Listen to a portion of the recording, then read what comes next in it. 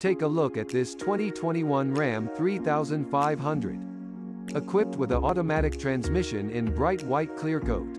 This car comes with some great features including Android Auto, dual rear wheels, anti-lock brakes, Apple CarPlay and more.